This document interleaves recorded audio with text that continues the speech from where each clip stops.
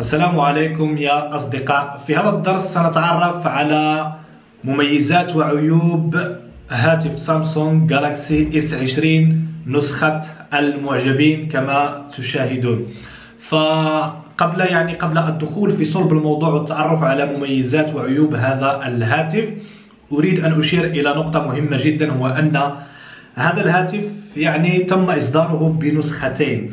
آه، أحد النسخ فهي تحتوي على معالج Snapdragon ونسخة أخرى تحتوي على معالج ال Exynos وأيضا يوجد آه، نسخة تحتوي على 8 جيجا في ال RAM ونسخة أخرى تحتوي على 6 جيجا في الرام. وهذا سيعطينا سيعطينا منطلق لنتعرف على العيوب والمميزات. إذا أردنا أن ندرج نسخة ال Snapdragon في أي يعني هل سندرجها في نسخة يعني ال ال في في المميزات أم في العيوب؟ فأظن أن معالج ال Snapdragon هو أفضل من معالج ال Exynos. يعني معالج Snapdragon سيكون من المميزات لهذا الهاتف. أما معالج الكزينوس سيكون من عيوب هذا الهاتف. أما بالنسبة لي الرام فقد ندرج 8 جيجا في الرام بالنسبة لهذه النسخة في المميزات أيضا و6 جيجا في الرام في العيوب وهذا رأيي الشخصي فقط يا أصدقاء. إذا على بركة الله نتجه مباشرة لنتعرف على المميزات أولا ثم بعدها العيوب مباشرة.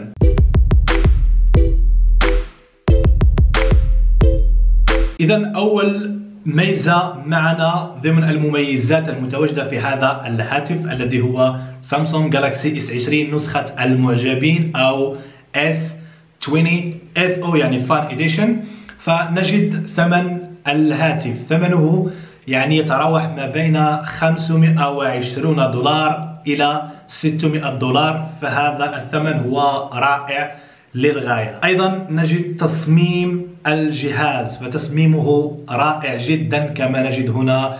يعني ظهر الهاتف فهو مصنوع من الجلاستيك. الجلاستيك يعني الزجاج مخلوط بالبلاستيك يعطينا اسم يسمى بالجلاستيك. كما تشاهدون يا أصدقاء فهو صعب الكسر. وهنا نجد يعني الكاميرات فهي يعني مشابهة تقريبا لنسخة الاس 20 العادية. فيعطينا هذا الانطباع وهذا الشكل الرائع.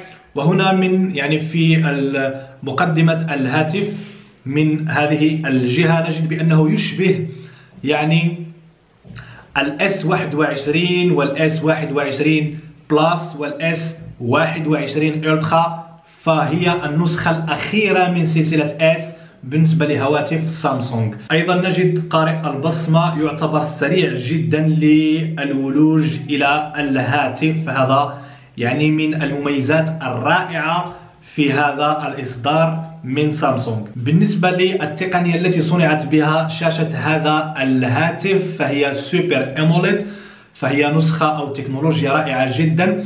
تمكننا من مشاهدة الفيديوهات بجودة عالية جدا سواء على منصة اليوتيوب أو على أي منصة. فكما قلت سابقا بالنسبة للنسخة التي أتت بمعالج سناب دراجون فتعتبر نسخة رائعة جدا مقارنة بالنسخة التي أتت بمعالج الكزينوس فتقوم بتوفير الطاقة على البطارية التي أتت ب 4500 ملي أمبير بالنسبة لهذه النسخة من هاتف سامسونج. وهنا نجد آخر ميزة معنا في الهاتف وهو يعني سلاسة الشاشة. نجد 60 هرتز و120 هرتز.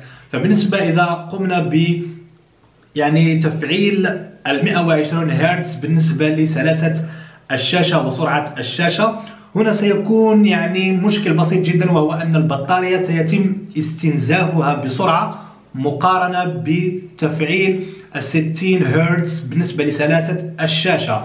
فهنا يعني أعتبر أن من ضمن هذه المميزات هو أنه قامت شركة سامسونج بتوفير سلاسة الشاشة التي هي 120 هرتز فهو أمر رائع جدا. إذا وكما شاهدتم بعد أن تعرفنا على مميزات هذا الهاتف والآن سنتعرف على عيوب هذا الهاتف. وأولا أريد أن أشير إلى نقطة مهمة جدا وهي خاصة بكاميرا هذا الهاتف وصراحة لم أستطع شخصيا أن أصنف يعني هذه الكاميرا هل من المميزات أم من العيوب؟ المهم إذا ما اتجهنا إلى الكاميرا فكما تشاهدون فهذه هي الكاميرا. فإذا ما أخذنا صورة لهذه الكاميرا بهذا الشكل يعني تعطينا صورة يعني أعتبرها أنا بعيني المجردة واضحة لكن الله أعلم إذ يعني كانت ستعجب يعني جميع يعني معجبي هذا النوع من أو هذه النسخة من الهاتف وكذلك تصوير الفيديو. فتصوير الفيديو يصل إلى ال 4K فالمهم صنفوه كما شئتم أنتم يا أصدقاء وإذا أردتم أن تصنفوه من العيوب فلكم الحق في ذلك أو إذا أردتم أن تصنفوه من المميزات أيضا لكم الحق في ذلك. إذا بالنسبة للعيوب التي وجدتها شخصيا بالنسبة لهذه النسخة من هواتف سامسونج فقلت سابقا أن النسخة التي تحتوي على المعالج معالج الكزينوس 990 هنا يقوم هذا المعالج ب يعني استنزاف الطاقة يعني طاقة البطارية.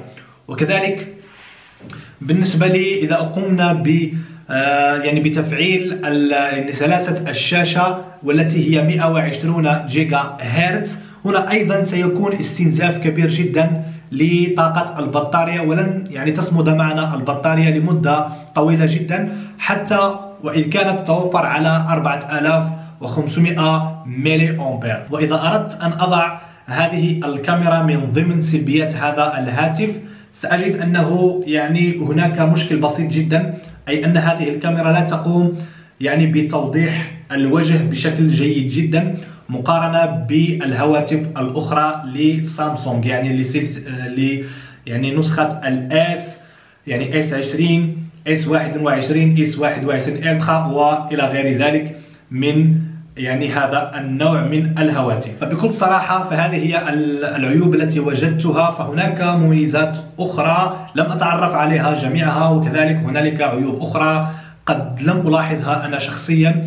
وإذا لاحظ يعني إذا لاحظ أحدا منكم عيوب أخرى أو مميزات أخرى لا تنسوا أن تتركوها لنا في يعني التعليقات أسفل هذا الفيديو وسنكون شاكرين لكم يا أصدقاء. أما الآن فقد وصلنا إلى نهاية هذا الدرس أو هذه الحلقة البسيطة. أتمنى أن تقوموا بعمل لايك لهذا الفيديو ومشاركته مع أصدقائكم ليستفيد الجميع.